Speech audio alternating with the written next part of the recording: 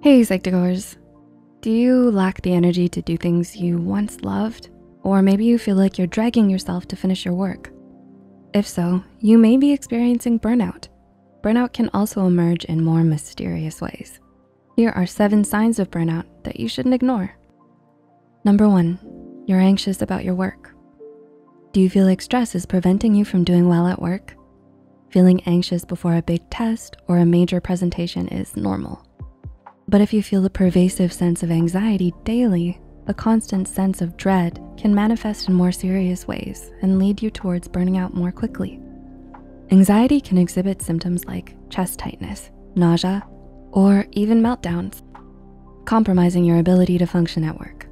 If you feel that your anxiety persists long after work hours, it may be time to reevaluate how you feel about your job and find things that you can control to provide a sense of stability. Number two, you're experiencing insomnia. What thoughts fill your head as you fall asleep? Is it with excitement or dread?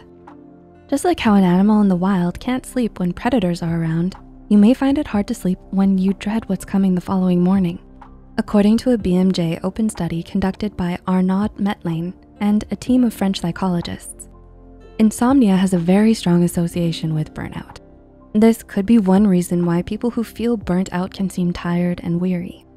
Aerobic exercise can help improve these sleeping habits and help you clock more quality hours of sleep. Number three, your performance is dipping. Do you feel like you're not keeping up with your tasks at work? Burnout can be noticeable based on how well you do your work. Has there been a considerable decrease in the quality of your work? If you feel like it's harder to concentrate on your tasks or you're starting to lack creativity, you might be experiencing chronic burnout. You can combat this by going for a walk in nature or spending more time to yourself by time blocking tasks. Alternatively, switching your job or position might be worth considering as well. Number four, you feel drained around people. Does being around coworkers or groups irritate you? When work is the only thing in your mind, you can start drifting away from your friends and family. You may start to engage in more conflict at home irritated at your loved ones because they're making it hard for you to concentrate on work. You may also be on the verge of breaking down more often, especially if your work environment requires you to be at your best every day. This can make you feel more isolated.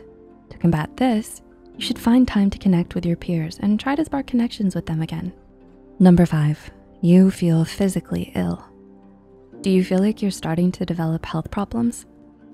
Burnout doesn't just limit itself to mental duress it also manifests in your body physically. According to a study by Tarani Chandola, people who are experiencing burnout run the risk of developing common ailments including diabetes, stroke, and heart disease. People who are on the verge of burning out also have a higher risk of substance abuse, which in itself increases the risk of various health issues.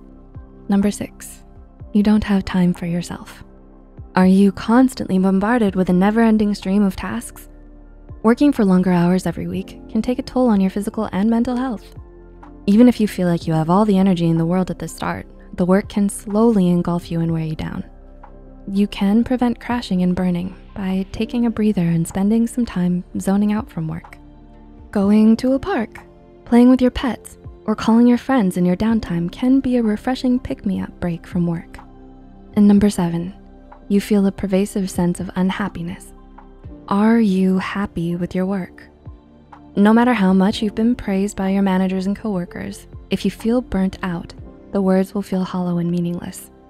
Burning out can lead to severe exhaustion and depression, which can also affect your life outside of work. Thankfully, it's reversible.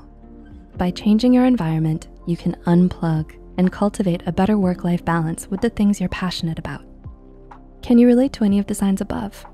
Are you feeling burnt out? Let us know in the comments section below. The references and studies used are listed in the description below. Also remember to like and share this video with those who might benefit from it. Thanks so much for watching. Until next time.